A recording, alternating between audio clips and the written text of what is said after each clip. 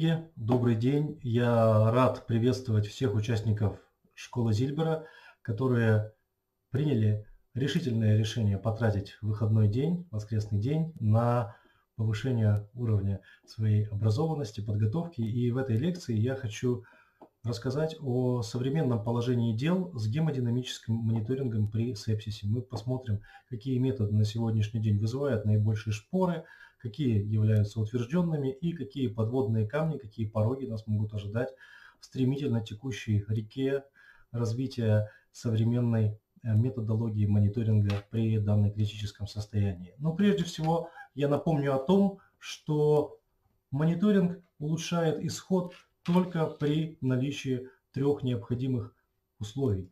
Прежде всего, это то, что данные, полученные в процессе мониторинга, достаточно точны и могут повлиять на реальную тактику ведения.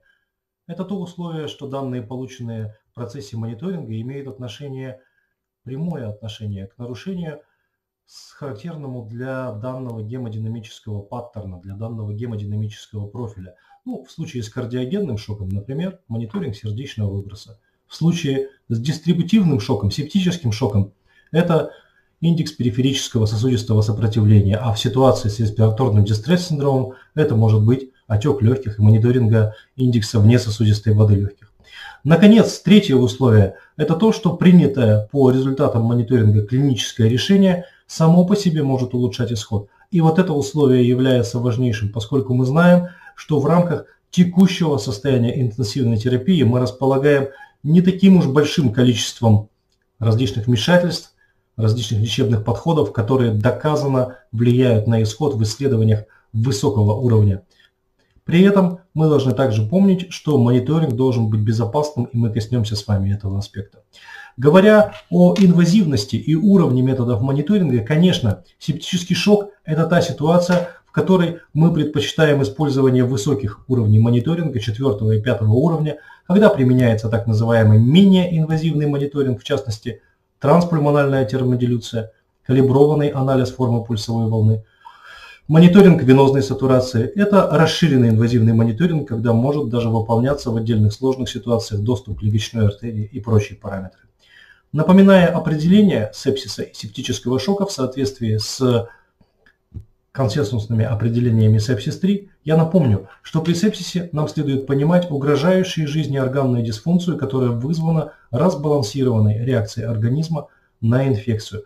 А септический шок – это вариант течения сепсиса, при котором особенно остро выражены циркуляторные, клеточные и метаболические нарушения, при этом существует потребность в вазопрессорной поддержке для поддержания среднего АД выше 65 мм трубного столба – и концентрация лактата в сыворотке выше 2 ммоль на литр в отсутствие гиповолемии. Да, это определение несовершенно, но оно накладывает свой отпечаток на особенности мониторинга в данной клинической ситуации. Говоря о показаниях к оптимизации кровообращения, мы должны помнить, что септический шок, сепсис, тяжелая гиповолемия любого генеза, конечно, являются факторами, связанными с пациентом, которые являются показанием для оптимизации кровообращения – более того, и здесь это выделено, дыхательная недостаточность и острое почечное повреждение также являются пациент обусловленными факторами, которые требуют оптимизации кровообращения и, соответственно, должного контроля оптимизации кровообращения мониторинга. Нужно помнить, что дыхательная недостаточность и острое почечное повреждение, конечно, являются флагманскими ведущими органными дисфункциями, существенно влияющими как на мониторинг, так и на интенсивную терапию сепсиса и септического шока. Говоря о результатах последних завершенных крупных многоцентровых исследований, вовлекших многие тысячи пациентов с септическим шоком, мы должны, к сожалению, сказать, что целенаправленная терапия в том ее виде, в котором она появилась в начале 2000-х годов, к сожалению, не подтвердила своего значимого влияния на исход. Вместе с тем, большой знак вопроса ставится напротив многих методов мониторинга. И именно эти аспекты мы должны с вами разобрать в ходе текущей презентации. Большую проблему также представляет и рефрактерный шок. На сегодняшний день все более устойчиво формируется его определение и признано считать, что это шок, не отвечающий на терапию вазопрессорами, персистирующая гипотензия, полиорганная недостаточность и потребность в инфузии норадреналина с условной границей договорной более 0,5 микрограмм на килограмм в минуту. Каковы точные временные критерии рефрактерности? Какой это наносит отпечаток на мониторинг? Есть много вопросов, которые нужно разобрать в этой ситуации, особенно учитывая то, что рефрактерный шок сопровождается гораздо более высоким уровнем летальности, чем обычные случаи шока. Кстати, говоря о проведенных крупных многоцентровых исследованиях, такие как ARISE, процесс и другие, нужно сказать, что в эти исследования в основном были вовлечены пациенты с относительно легким септическим шоком, с относительно низкой потребностью в вазопрессорах, что также может накладывать определенные ограничения на потенциальные возможности мониторинга и целенаправленной терапии в этих работах. Говоря же о текущем положении дел, на сегодняшний день мы имеем, несомненно, дело с персонализированным подходом к гемодинамической терапии, когда мы говорим, что от стадии ранней целенаправленной терапии мы перешли к индивидуализированной гемодинамической терапии и, наконец, реализуем персонализированный гемодинамический подход, подразумевающий протоколизированное введение, но вместе с тем персональные мишени, адаптационный мультипараметрический подход и мы не используем больше термин улучшение кровообращения, а используем термин оптимизация. Мы стараемся избегать супранормализации или нормализации параметров, а говорим об их оптимальном значении в данной клинической ситуации у конкретного пациента. Это особенно важно, учитывая последние данные, которые были получены по результатам постанализа крупных исследований, таких как PROVE, Success, многих других, которые показали, что пациенты с септическим шоком и сепсисом отличается по фенотипической реакции на интенсивную терапию, отличается по фенотипическим особенностям органной дисфункции и выделяют как минимум 4 фенотипических класса пациентов по данным публикации, представленным здесь. Более того, и пациенты с респираторным дистресс-синдромом также фенотипически могут быть разделены на гипервоспалительные и гиповоспалительные типы, и это было известно достаточно давно, а ведь у РДС – является флагманской органной дисфункцией при септическом шоке, и мы с вами знаем, что сепсис – это самая частая причина респираторного дистресс-синдрома. Говоря о современных подходах к мониторингу, я уже упомяну и уверен об этом говорилось вчера в лекции профессора Кирова, о фазовом подходе к мониторингу. Очень важно помнить, что как и терапевтические воздействия, Фазовый подход к мониторингу очень важен, и на определенном этапе течения критического состояния, в нашем случае септического шока, мы можем по-разному формировать необходимый набор методов мониторинга для конкретного пациента, учитывая не только фазы спасения, оптимизации, стабилизации и эвакуации, но учитывая и раннюю стадию отлива, первые две фазы, и позднюю стадию прилива, поздние две фазы. Конечно, потребность в мониторинге будет изменяться во времени с учетом состояния нашего пациента. У мониторинга есть золотой час и серебряный день. Тот самый интервал времени, когда по показателям данного метода мониторинга может быть принято эффективное клиническое решение. Конечно, на начальном этапе могут применяться высокоинвазивные методы мониторинга, однако чем дольше мы их используем, тем больше кумулятивный риск осложнений от высокоинвазивных методов мониторинга мы можем получить.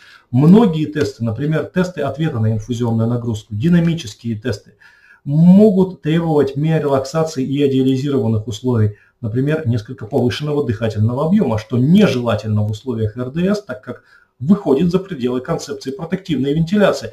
Вместе с тем, кратковременная применение, модификация параметров терапии для идеальной чувствительности и специфичности проводимых тестов может быть целесообразным на ранней стадии. Ну и, конечно, стабилизация нашего пациента может вести к оправданному сворачиванию мониторинга. Здесь представлена таблица, в которой мы видим, что в зависимости от фаз течения шокового состояния, четырех фаз спасения, оптимизация, стабилизация, деэскалация терапии, может меняться во времени потребность в различных методах мониторинга. И, например, здесь показано, что существует минимальный объем мониторинга и оптимальный объем мониторинга. Говоря же о в целом показаниях к инвазивному измерению артериального давления, а именно с этого показателя мы с вами начнем. Я напомню, что существуют избранные рекомендации Европейского общества интенсивной терапии. Это та самое общество, которое дало нам с вами последнее определение шока, который говорит нам о том, что Шок – это прежде всего проблема потребления кислорода, и в этих же рекомендациях мы видим, что не рекомендуют использовать артериальную гипотензию в качестве критерия шока. рекомендуется использовать индивидуальный подход к выбору целевого значения артериального давления при проведении интенсивной терапии у пациентов шока. В качестве начального, именно начального целевого значения рекомендуется поддерживать среднее артериальное давление более 65 мм ртутного столба. Это, конечно, усредненное очень значение. В отсутствие тяжелой ЧМТ, пока кровотечение не остановлено, может поддерживаться более низкие значения артериального давления, но это имеет отношение к гиповолемическому шоку. И можно поддерживать давление на более высоком уровне у пациентов с септическим шоком, если есть указание на предшествующую артериальную гипертензию, гипертоническую болезнь, или если повышение артериального давления сопровождается улучшением состояния пациента с септическим шоком. Однако здесь уровень доказательности невелик. Что мы знаем из исследований, которые говорят нам о безопасном уровне артериального давления? Мы знаем лишь, что безопасный уровень артериального давления существует лишь для почек. И действительно, при снижении давления ниже 70-65 мм ртутного столба частота острого почечного повреждения в крупных популяционных исследованиях начинает резко повышаться. Однако мы знаем, что несмотря на это, рекомендованная цель и рекомендации «Выживая при сепсисе» и других рекомендаций – это действительно поддержание среднего артериального давления выше 65 и достижение подобной границы в течение первых часов. Причем данные исследования, одно из них представлено здесь, и оно совсем не новое, это исследование 2009 года, показывает, что чем больше кумулятивная продолжительность гипотензии, ведь гипотензия может складываться из временных участков в процессе терапии начальной пациента с септическим шоком, тем хуже будет исход. Это важно. Но говоря о конкретном влиянии на отдельные органы, мы можем лишь выделить более-менее доказанное безопасное значение среднего артериального давления для почек, в то время как для других органов оно мало изучено. Несколько более подробно я скажу об этом в последующей лекции. Говоря же о текущей концепции гемодинамики, нам важно помнить, что у здорового человека, у которого отсутствовала исходная гипертензия, порог ауторегуляции достаточно широк, и он как раз находится где-то между 50 и 110 мм ртутного столба. Иными словами, в этих условиях создается оптимальная ситуация для поддержания адекватного кровотока, соответствующего метаболическим потребностям ткани при давлении от 65 до 85. Для пациентов же с исходным ремоделированием системы кровообращения вследствие, например, хронической артериальной гипертензии, повышение среднего артериального давления с 65 до 85 может нести значимое улучшение кровотока и значимое преимущество в отношении его ауторегуляции. Это важно учитывать, поскольку действительно крупных исследованиях, здесь представлено исследование Spam 2014 года, было показано, что более высокое значение среднего артериального давления может потребоваться пациентам с артериальной гипертензией, опять же и вновь, для поддержания функции почек, для снижения риска почечного повреждения и даже для снижения рисков заместительной почечной терапии. Нет различий в исходе при артериальном давлении 65 и 75 мм ртутного столба, но, конечно, более высокое давление может увеличивать риск пароксизмов мерцательной аритмии, особенно у пациентов, которые имели их ранее, но снижает риск почечного повреждения, как мы уже об этом сказали. Конечно, серая зона 60-85 мм ртутного столба требует индивидуализации при нашем подходе к мониторингу артериального давления. Какие пациенты с септическим шоком могут быть наиболее благодарны в отношении персонализированного подбора АД? Это, конечно, пожилые пациенты, пациенты старше 70-80 лет.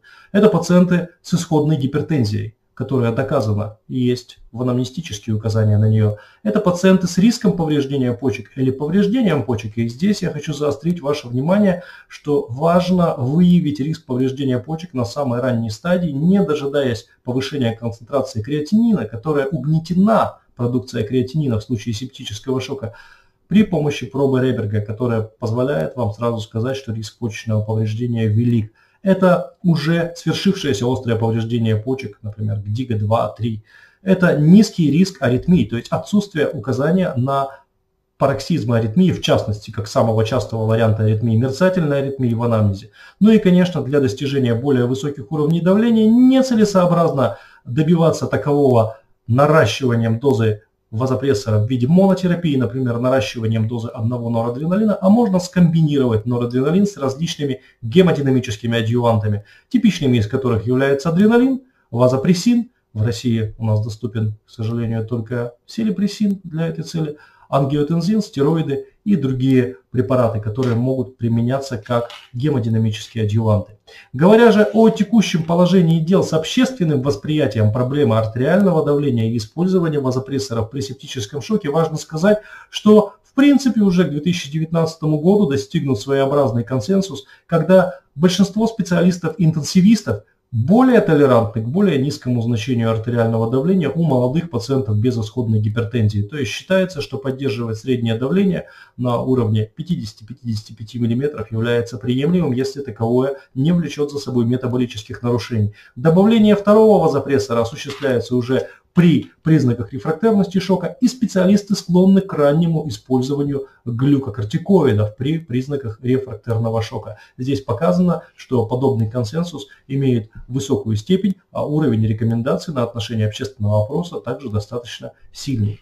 Говоря же об оценке эффекта вазопрессоров, это немаловажно при интерпретации артериального давления – Конечно, существует оценка дозы, необходимой для физиологического ответа. И мы все с вами хорошо знаем показатель PO2-FIO2 для характеризации функций легких, для характеризации газообмена в условиях респираторного дистресс-синдрома. Однако, подобным же образом мы можем как в научных, так и в практических целях характеризовать с вами показатель артериального давления, поскольку если мы рассчитываем отношение между артериальным давлением и дозой норадреналина, или если хотите норадреналиновым эквивалентом, если вы используете другие вазопрессоры, либо катехоламины, то в этой ситуации, конечно, эта доза гораздо, этот показатель отношения среднего артериального давления и норадреналинового эквивалента или дозы норадреналина, если вы применяете этот вазопрессор, значительно более точно отражает летальность в стационаре по сравнению с изолированным применением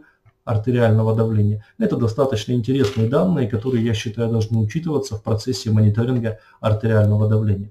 Ну и, конечно, существуют различные осложнения артериального доступа. Мы же сказали с вами о том, что мониторинг должен быть безопасен. И здесь необходимо учитывать как тромботические, так и инфекционные осложнения, которые, конечно, значимо могут нарастать при стоянии катетера более 7 суток. Это необходимо учитывать, и это большое э, различие между артериальным и центральным венозным катетером. Здесь нужно помнить, что если вам требуется более длительный инвазивный мониторинг артериального давления, артериальный доступ может быть заменен. Кроме того, нужно помнить, что мониторинг через бедренную артерию дает гораздо более высокий риск э, необратимого ишемического повреждения конечности по сравнению с лучевой артерией.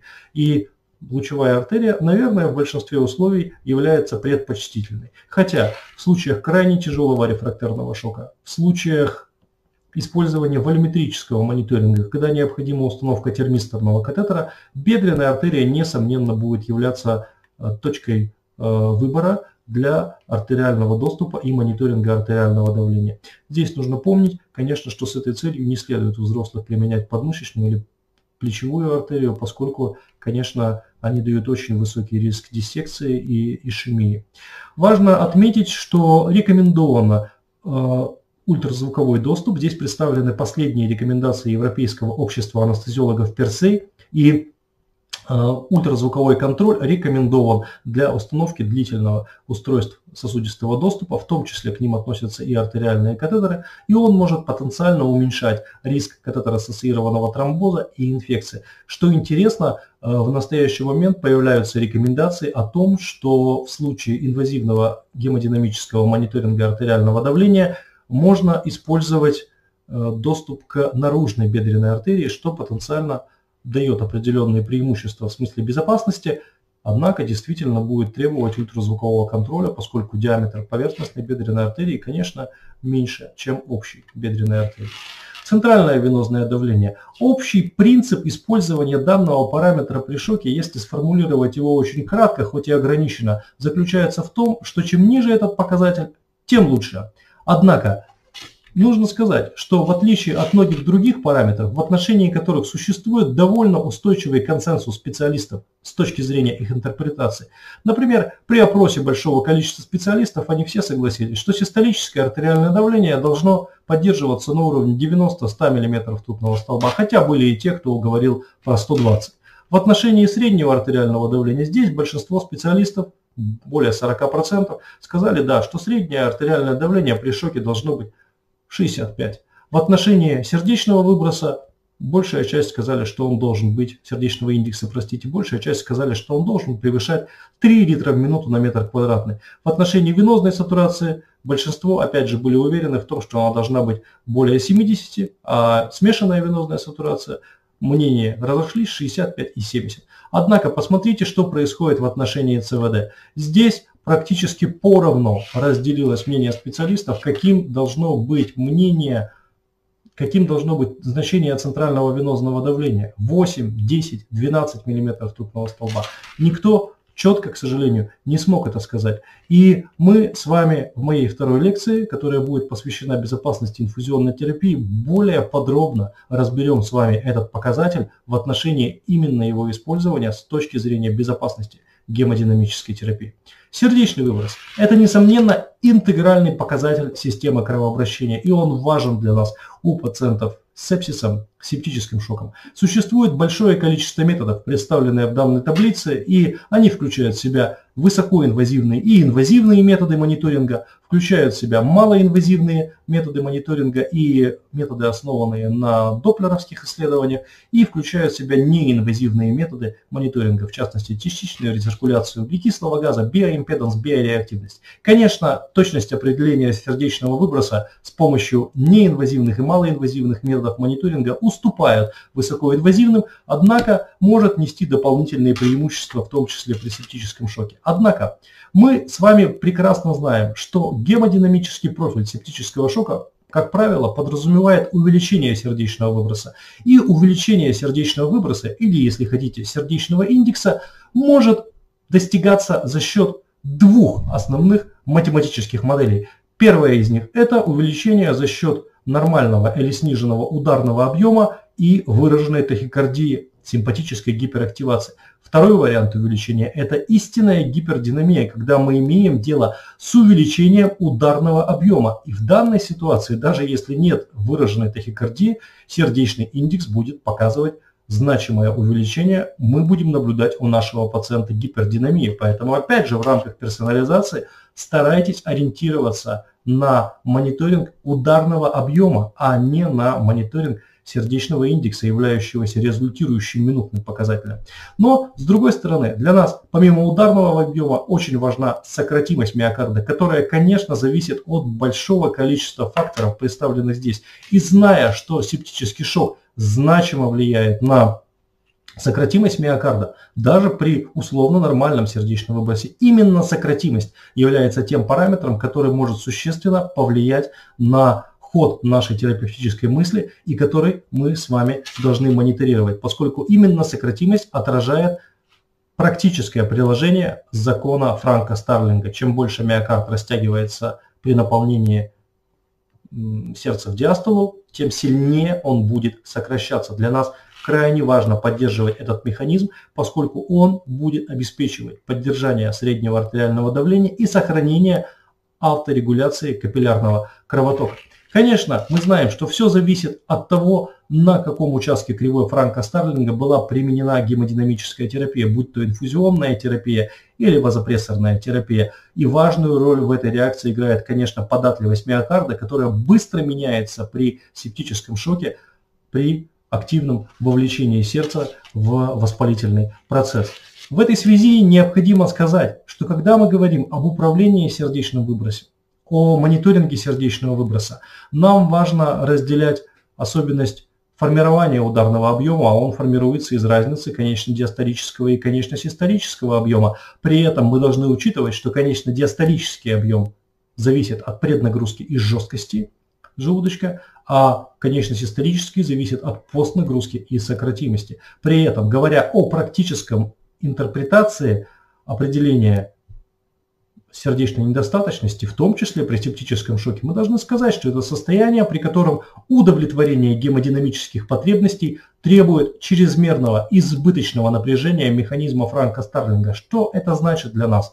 Это значит лишь одно – увеличение потребления миокардом кислорода, увеличение кислородного запроса миокарда и неблагоприятные условия для вентрикула артериального сопряжения. Я немножко скажу подробнее об этом феномене и о том, как он мониторируется во второй своей лекции сегодня, которая будет посвящена инфузионной терапии. В целом же мы должны признать, что как в ситуации с септическим шоком, ну вот буквально несколько дней тому назад была публикация, что то же самое происходит при тяжелом течении COVID-19. Наиболее распространенным вариантом – сердечной недостаточности является сердечная недостаточность, сохраненной фракцией изгнания. Иными словами, она называется диастолическая сердечная недостаточность, которая присутствует у большинства пациентов с септическим шоком, и при этом фракция выброса остается неизменной. Однако наблюдается рост конечно-диастолического объема, и это немаловажный показатель для мониторинга. Таким образом, говоря о сердечном выбросе, для нас наиболее важно с точки зрения производительности сердца при септическом шоке, для нас наиболее приоритетно будут скорее мониторинг ударного объема для того, чтобы отличить гипердинамию первого типа, связанную с тахикардией, и гипердинамию второго типа, связанную с увеличением ударного объема. Давайте назовем ее истиной. Для нас очень важно мониторинг сердечной сократимости, иными словами, и для нас важен мониторинг диастолической функции желудочка, в частности, его конечно-диастолические размеры.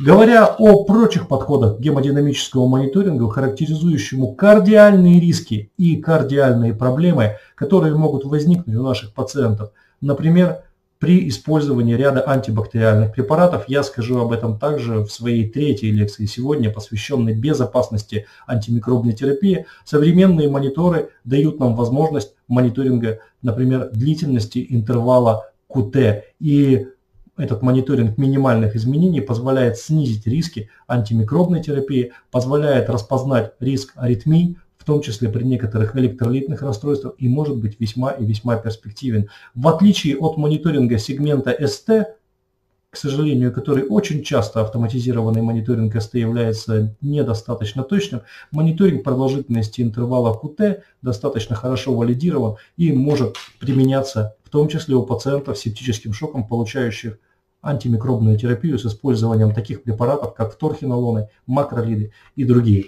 Измерение сердечного выброса, должно ли оно производиться непрерывно или дискретно? Конечно, целесообразно частое измерение с учетом произведенных вмешательств, а иногда первые часы их производится достаточно много. При этом, конечно, важна роль комплексного гемодинамического мониторинга аудита. Очень хорошо, когда на экране монитора мы можем видеть тренд, динамику изменения сердечного выброса в зависимости от тех воздействий, которые мы производим. При этом непрерывное измерение сердечного выброса от удара к удару, бит-то-бит, может осуществляться параллельно с метаболическими маркерами и с оценкой сосудистой проницаемостью. Нарастает ли она в ответ на увеличение сердечного выброса, что также немаловажно. Сердечный выброс. Как отследить эффект от терапии? Конечно, абсолютное значение сердечного выброса может иметь для нас значение с известными ограничениями, о которых я уже сказал. Давайте не будем забывать, что многие наши пациенты находятся либо в нормодинамии, либо в гипердинамии при септическом профиле шока. Однако, если мы все-таки хотим оценить эффект повышения сердечного выброса на органную функцию, на конечных получателей кислорода, то есть на органы, мы должны помнить, что здесь для нас гораздо важнее оценка органного эффекта, это представлено здесь на диаграмме, и, конечно, оценка микроциркуляции, в том числе сейчас доступны и клинические методы оценки микроциркуляции. Не менее важен для нас и метаболический ответ или метаболический след терапии, который мы также можем оценить. Говоря о мониторинге и оптимизации сердечного выброса, производительности сердца, мы можем сказать, что здесь подходы к мониторингу могут варьировать в том числе в связи с диагностическими целями.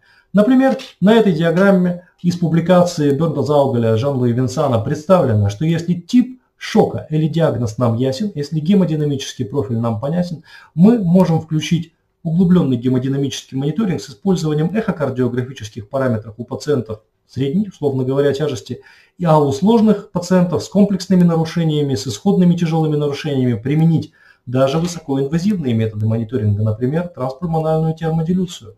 Если же мы не знаем причины и не уверены в профиле циркуляторного шока, здесь мы можем сразу сказать, что у нас возникают показания к мониторингу сердечного выброса, и мы можем выбрать метод его оценки в зависимости от сопутствующих нарушений. Например, при выраженной дисфункции правого желудочка или легочной гипертензии, острых или хронических, мы можем использовать катетер Сванганса. При выраженном респираторном дистресс-синдроме, который сопутствует ситуации, мы можем применить транспульмональную термодилюцию с мониторингом индекса несосудистой воды легких, либо индекса проницаемости легочных сосудов. Если нам необходима активная инфузионная нагрузка, и мы считаем, что она может нести преимущество, здесь может быть использован артериальный катетер и может быть реализовано непрерывный мониторинг сердечного выброса с отслеживанием непрерывным с каждым ударом сердца. Это достаточно важно для оценки каких-то быстро гемодинамически меняющихся условий, включающих инфузионную нагрузку, респираторные параметры, проведение рекрутмента и так далее и тому подобное. Конечно, раннее назначение норадреналина также оказывает ряд воздействий на гемодинамические параметры. Это отсутствие изменений со стороны сердечного выброса или его некоторое повышение. Не забывайте, что любые вазопрессоры ведут к увеличению среднего системного давления заполнения системы и ведут к увеличению давления венозного возврата, тем самым увеличивая преднагрузку на сердце. Это основной смысл их использования в случае с э, гемодинамической терапией. Кроме того, Раннее назначение норадреналина по данным исследований ведет к повышению глобального конечно-диастолического объема. Это очень важный волюметрический параметр. И на сегодняшний день один из самых точных параметров преднагрузки, в том числе для пациентов с септическим шоком. Это снижение вариабельности пульсового давления, то есть некоторое задавливание функциональных параметров кровообращения, которые используются для оценки чувствительности к инфузионной нагрузке. И, наконец, назначение норадреналина, так же как и инфузионная терапия, может улучшать микроциркуляцию. Это достаточно важные эффекты. Мы должны помнить, что в целом использование вазопрессоров на фоне адекватного гемодинамического мониторинга может снижать риск опасной передозировки инфузионных сред и уменьшать риск гипергидратации, о последствиях которой я скажу в своей второй лекции сегодня, посвященной опасностям инфузионной терапии.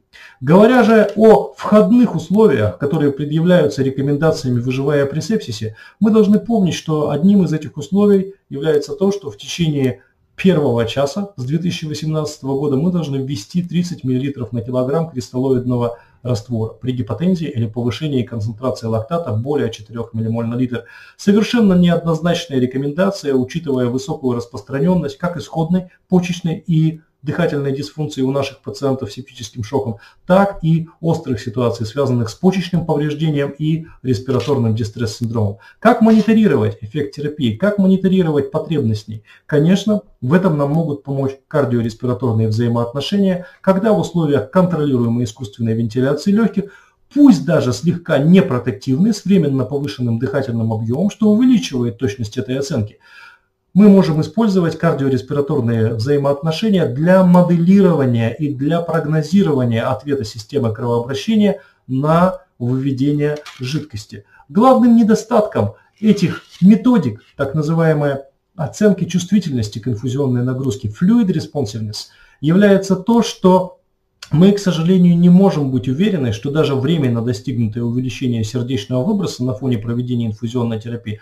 во-первых, окажет благоприятный метаболический эффект, то есть то, что оно улучшит потребление кислорода, это очень важно с учетом текущего определения шока, а во-вторых, то, что проведенная инфузионная терапия по результатам тестов чувствительности к инфузионной нагрузке – на самом деле будет хотя бы сколько-нибудь длительно сохраняться во времени. Ведь сердечный выброс оценивается в исследованиях рутинно через 15 минут после проведения инфузионной нагрузки, в частности контрольной ее фазы при оценке вот этих самых разнообразных тестов. А что будет через 4, 6, 12 часов? Никто не пишет и не любят об этом говорить. Поэтому, конечно, это важнейшее ограничение тестов чувствительности на инфузионную нагрузку. Это длительность их эффекта, это влияние на тканевую гидратацию, это, наконец, глобальное влияние на потребление кислорода, улучшится ли оно в условиях инфузионной нагрузки. Это более важные вопросы. И, конечно, говоря об этих тестах, Нельзя не упомянуть вариабельность систолического давления. Этот параметр сейчас реализован в мониторах многих компаний и достаточно хорошо отслеживается. Это вариабельность пульсового давления. Пожалуй, один из параметров, который по кумулятивным данным исследований обладает максимальной чувствительностью, максимальной диагностической точностью в отношении ответа на инфузионную нагрузку. Приятно, что этот параметр тоже доступен. Он, конечно, требует инвазивного измерения артериального давления – Однако его чувствительность достигает 80-85%, и это очень хорошо по сравнению с другими тестами. Это такой параметр, как вариабельность ударного объема, который также может оцениваться малоинвазивной благодаря расчету площади систолической части артериальной волны. И учитывая самую меньшую площадь и самую большую часть, этот параметр может быть определен, и если его значения повышены, выше 9-10 даже 15 по некоторым исследованиям процентов в условиях миорелаксации и пограничного дыхательного объема, около 8 мл на килограмм предсказанной массы тела, это говорит о том, что наш пациент потенциально может нарастить сердечный выброс в ответ на инфузионную нагрузку. Однако, я еще раз напомню, наличие повышения таких показателей которые мы упомянули сейчас с вами, маркеров чувствительности конфузионной нагрузки, не говорит нам о том, что повышение сердечного выброса будет устойчиво и сохранится длительно, что это повышение повлияет на потребление кислорода клетками организма и что это повышение будет безопасно. Первое, для миокарда, во-вторых, что это повышение будет безопасно для гидратации тканей, ведь жидкость может покинуть пределы сосудистого русла. Это достаточно важные ограничения тестов чувствительности к инфузионной нагрузке. Вместе с тем, они широко внедрены в ряд современных систем мониторинга, и здесь мы с вами видим мониторинг э, вариабельности ударного объема, который как раз может быть отслежен во времени, как он меняется в зависимости от конкретных условий, от наличия мирелаксации его отсутствия, от респираторных параметров, от, наконец, инфузионной нагрузки, в том числе болюсной, у конкретного пациента. Очень важно, что вместе с этим индексом в современных мониторах мы можем с вами вынести и мониторинг индекса внесосудистой воды легких, который действительно, несмотря на некоторое увеличение сердечного индекса, которое было показано здесь на диаграмме, серьезно возрос. Поэтому стоило ли увеличивать сердечный выброс, если мы расплачиваемся за это отеком легких,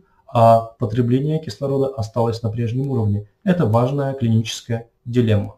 Говоря еще об одном полезном параметре, который особенно актуален в условиях текущей популярности концепции вентрикуло-артериального сопряжения. Я немного подробнее повторю, скажу об этом во второй лекции. Является показатель, достаточно давно известный, это показатель динамической артериальной эластичности. Это соотношение вариабельности пульсового давления и вариабельности ударного объема. И этот показатель А1 действительно позволяет иногда более дифференцированно, более персонализированно подойти к выбору между инфузионной терапией и вазопрессорной поддержкой у конкретного пациента, в том числе с септическим шоком, у пациента, который является преднагрузкозависимым. И действительно, этот показатель может быть весьма полезен, его можно рассчитать вручную, если ваш монитор дает вам показатель вариабельности пульсового давления и ударного объема. Опять же скажу, что это доступно при а, банальном инвазивном доступе через лучевую артерию с использованием обычного артериального катетера. Мониторинг при септическом шоке может быть, конечно, дополнен э, мониторингом вариабельности кривой плетизмографической, да, пульсоксиметрической кривой. И здесь этот показатель, который носит название дельта POP или PWV, действительно доступен, его иногда можно наблюдать визуально, скажем так, на экране у пациента с выраженной гиповолемией или большими скачками внутригрудного давления, это важное ограничение. Однако здесь нужно учитывать, что, к сожалению, у многих пациентов с тяжелым септическим шоком, с рефрактерным шоком, конечно, качество чтения пульсоксиметрического сигнала может быть ограничено, и это накладывает определенные ограничения на клиническое использование данного показателя. Весьма полезным тестом является тест с подъемом ног. Однако мы должны помнить, что на сегодняшний день клинически допустимыми являются только два метода оценки эффективности этого теста, его позитивности, давайте так скажем, это мониторинг непрерывной сердечного выброса. Иными словами, при подъеме ног на 45 градусов, опускании кровати, которая предварительно находилась в положении с поднятым головным концом, это стабильное исходное состояние, это, собственно, проведение теста. Важно помнить, что нам надо мониторировать либо непрерывно сердечный выброс, который должен увеличиться как минимум на 15-20%, либо иметь возможность капнографии. Мы должны зарегистрировать, что обнаружено значимое хотя бы на 5-7% повышение СО2 в конце выдоха. В этом случае наш пациент может считаться респондером, и мы можем утверждать, что, скорее всего, на инфузионную терапию с высокой долей вероятности этот пациент ответит нарастанием сердечного выброса. А вот к чему приведет это нарастание, мы уже это с вами обсудили, вам надо будет ответить самому себе честно. И, конечно, этот тест можно проводить на спонтанном дыхании, он не требует интубации, но ограничен в отношении методов оценки. Тест с подъемом ног также может отслеживаться при использовании современного оборудования для мониторинга, и здесь в частности показано, как меняется, например, в процессе теста с подъема ног PLR как у нас будет меняться, например, значение неинвазивно мониторируемого сердечного индекса. Это достаточно адекватный вариант оценки. По нашему опыту, и здесь представлены картинки из наших исследований, как раз мы можем также рекомендовать такие тесты, как ПДКВ-тест. ПДКВ-тест подразумевает повышение ПДКВ с 10 до 20 см водного столба или с 5 до 20, если хотите. Кратковременное повышение. Вы можете оправдывать себя рекрутментом легочной ткани в этой ситуации и мониторинг среднего артериального давления. Вот здесь вот мониторинг доступен. Опять же, я напомню, что среднее артериальное давление, конечно, здесь должно мониторироваться инвазивным путем. А также это тест с мини-нагрузкой жидкостью, то есть не введение в дозе 7-6 мл на килограмм, как это обычно рекомендуют, или даже больше, а введение в низкой дозе 1-1,5 мл на килограмм. При введении даже 100 мл обычного кристаллоидного раствора, мы можем зафиксировать с вами малые изменения, касающиеся быстрого изменения вариабельности пульсового давления и вариабельности ударного объема. И если эти показатели снижаются в ответ на тест с минимальной инфузионной нагрузкой, более безопасный, чем стандартный тест с инфузионной нагрузкой, как вы понимаете, то есть мы вместо 500 мл жидкости вводим всего 100 это может отражать адекватную потенциальную реакцию пациента на дальнейшее наращивание инфузионной терапии. Иными словами, он будет признан отвечающим на инфузионную нагрузку. Хотя, когда мы действительно с вами оцениваем исходы, оцениваем риски пациента при септическом шоке, нам довольно часто говорят о трех диагностических окнах шока. Это нарушение функции центральной нервной системы, в частности делирий, это выраженное нарушение со стороны кожных покровов. Здесь представлен симптом Марика и площадь этих изменений в области коленной области может э, даже лучше коррелировать с исходами, чем э, некоторые шкалы, например, СОФА, по данным некоторых провокационных исследований. И это, конечно, темп диуреза. Тут нет никакой гемодинамики, как вы видите вообще. И, конечно, мониторинг метаболический, мониторинг микроциркуляторный стоит на грани оценки обратного ответа тканей и органов на все наши изменения с гемодинамикой, которые мы с вами делаем. Поэтому существует понятие аскетической, аскетичной цели мониторинга при сепсисе. Если у пациента есть признаки тканевой дизоксии, то мы должны ответить себе на важнейший вопрос, могут ли изменения сердечного выброса, производительности сердца улучшить тканевую перфузию. И если этот ответ нет, то мы должны оптимизировать ИВЛ, корректировать гипоксимию, повторно оценивать тканевую перфузию. Гемодинамический мониторинг нам вряд ли будет полезен, по крайней мере, в своем углубленной форме. Ну и можно использовать малоинвазивные методики. Если же мы четко уверены, что изменения сердечного выброса могут улучшить перфузию, обладают таким потенциалом, то гемодинамический мониторинг может признаваться необходимым. Одним из наиболее высокоуровневым методом гемодинамического мониторинга, несомненно, остается транспульмональная термодилюция, доступная в непосредственной практической деятельности. И здесь как раз показана методика, при которой возможно измерение индекса внесосудистой воды легких, глобального конечно-диастолического объема и прочих важных термодилюционных волюметрических параметров, которые позволяют достичь истинной персонализации мониторинга при септическом шоке. Это достаточно важный параметр, и этому посвящено большое количество исследований. Персональный гемодинамический профиль при оценке сердечного выброса, конечно, складывается и из параметров транспульмональной термодилюции, может применяться импедансная томография, может применяться мониторинг лабораторный, основанный на определении предсердного натриуретического пептида его динамики, и даже на определении тропонина. Я немного подробнее об этом скажу во второй лекции сегодня. Как оценить персональный профиль вазорелаксации и риски применения вазопрессоров? Вот здесь играет значение, конечно, среднее диастолическое артериальное давление, сократимость миокарда, соотношение э, вариабельности пульсового давления и ударного объема показателя артериальной эластичности, динамической эластичности – и мониторинг интервала QT для оценки риска аритмогенного влияния вазопрессоров. Мы знаем, что с увеличением дозы этот риск будет увеличиваться.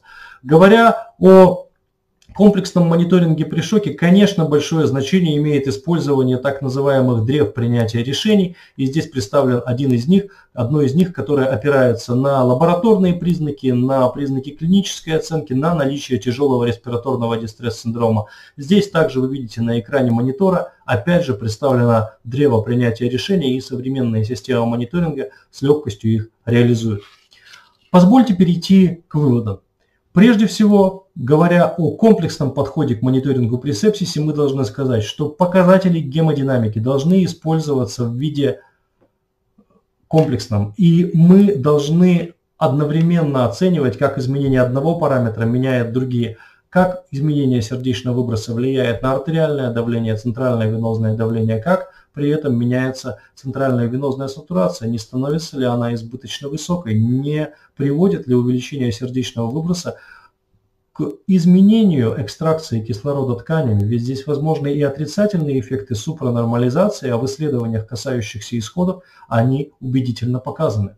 Мы можем оценивать чувствительность конфузионной терапии при помощи тестов с подъемом ног, динамических параметров, функциональных тестов. Однако, как я уже сказал, Здесь существует большое количество ограничений, поскольку эти тесты говорят нам формально лишь то, что спустя какое-то время после проведения инфузионной нагрузки мы зафиксируем увеличение сердечного выброса. Будет ли оно сохраняться длительно, не приведет ли это увеличение сердечного выброса к неблагоприятным эффектам, на основании тестов чувствительности конфузионной нагрузки мы с вами сказать на сегодняшний день не можем.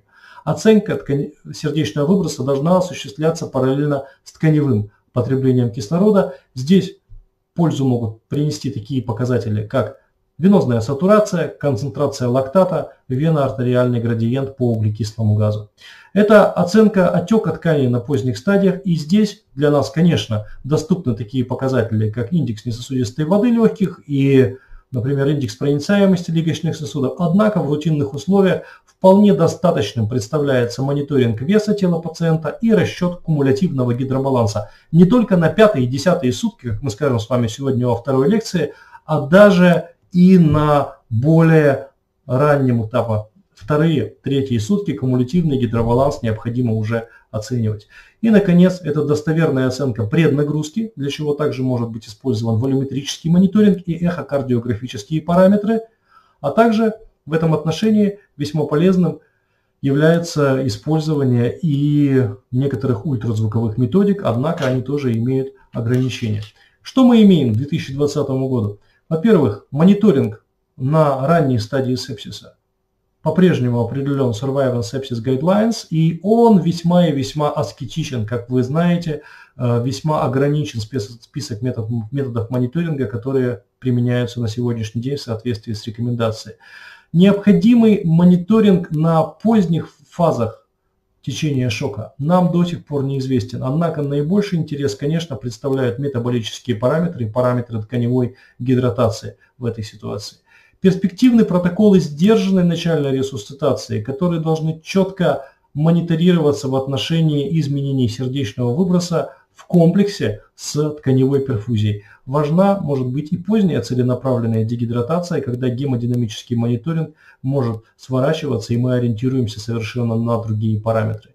Помимо мониторинга гемодинамики крайне целесообразна оценка микроциркуляции метаболического ответа. К сожалению, на сегодняшний день в практической деятельности за пределами лабораторий, научно-исследовательских центров мониторинг микроциркуляции весьма и весьма затруднен. Однако даже трезвое наблюдение за внешним видом пациента – это, конечно, использование вспомогательных метаболических маркеров, лактата, э, вена-артериальной разницы по кислороду, вена-артериальной разницы по СО2, измерение тканевой аксиметрии могут принести определенные положительные последствия. Я благодарю вас за внимание и буду рад ответить на ваши вопросы. Спасибо.